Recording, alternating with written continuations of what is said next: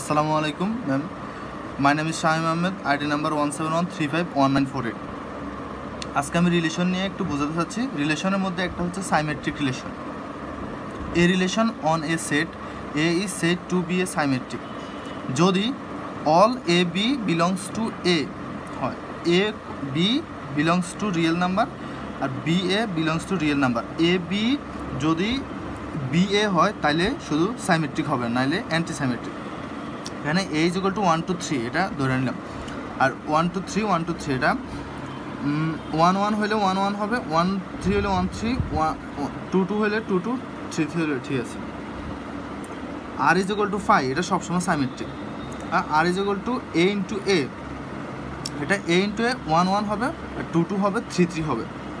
R is equal to one one one one উল্টাইলেও one one two two two two three three three three এটা ঠিক আছে।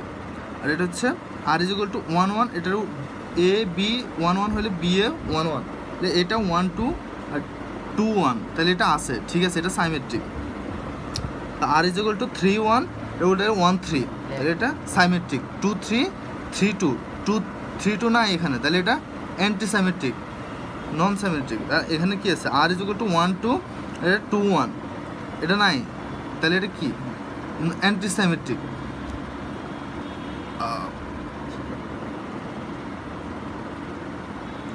Symmetric one two যদি এ B one two হয়, তাহলে B A two one তাহলে কি এটা কি? নাই তো এখানে। তাহলে এটা অ্যান্টিসাইমেট্রিক আর এ দুইটাই শুধু অ্যান্টিসাইমেট্রিক আর সব হচ্ছে symmetric